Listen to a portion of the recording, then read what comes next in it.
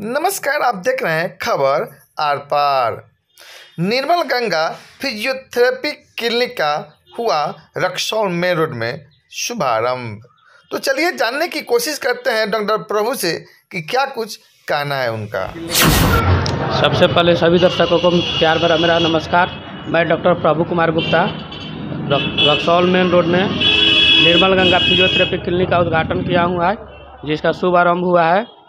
और main road Raxaul में हनुमान मंदिर के सामने है और अनुमंडलीय अस्पताल जो सरकारी अस्पताल है उसके सामने है।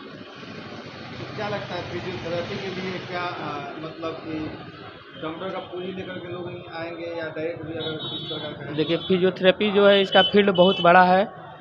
अभी तो लोकल एरिया में डॉक्टर के द्वारा ही आता है लेकिन काफ़ी बड़े शहरों में अच्छे अच्छे शहरों में फिजियोथेरेपी का इमेज इतना है कि डॉक्टर के पास ना जाकर लोग डायरेक्ट मरीज़ जितने भी हैं, सारे डायरेक्ट फिजियोथेरेपिस्ट के पास चले जाते हैं।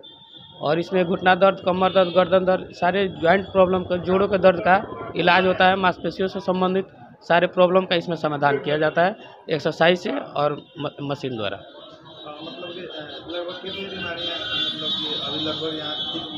बहुत सारी बीमारियों का इलाज किया, जैसे पैरालिसिस हो गया लकवा जिसको बोलते हैं।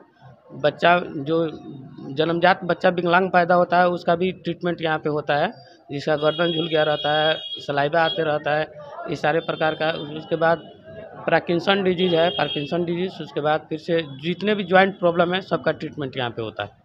या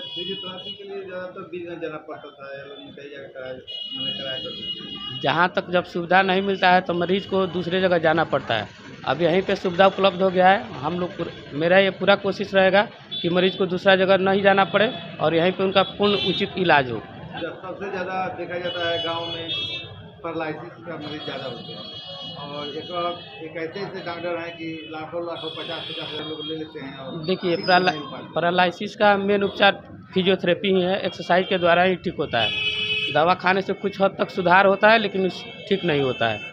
और ऐसे बहुत सारे डॉक्टर हैं जो बताते हैं कि यह है वह है ऐसा कुछ नहीं है। फिजियो जो पढ़े लिखे जो डॉक्टर होते हैं या पढ़े लिखे जो मरीज़ होते हैं वो फिजियोथेरेपी ही कराते हैं या डॉक्टर प्रिस्क्राइब करते हैं फिजियोथेरेपी के लिए। क्या गरीबों के लिए कुछ विशेष व्यवस्था है कि वो गर, नहीं ऐसा कुछ नहीं है। जो भी है गरीब के लिए या अमीर के लिए सबके एकदम ईमानदारी के साथ रिज़ल्ट दिया जाएगा और जो नहीं होने वाला है उसको बोल दिया जाएगा कि ये मेरे यहाँ उपलब्ध नहीं है। किस मतलब ज़्यादातर देखा जाता है हॉस्पिटल में सेवा भाव भाव के लिए लोग डॉक्टर बनते हैं या क्लिनिक खोलते हैं या मनी अर्जन के लिए। तो आपका मतलब क्या उद्देश्य है सेवा भाव या मनी अर्जन? दोनों चीज़ें सेवा भाव के साथ मनी अर्जन। अपना भी कुछ होना चाहिए।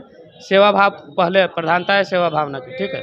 सबसे पहले सेवा ही करना है मरीज़ की ओर हो ठीक होना चाहिए मरीज़।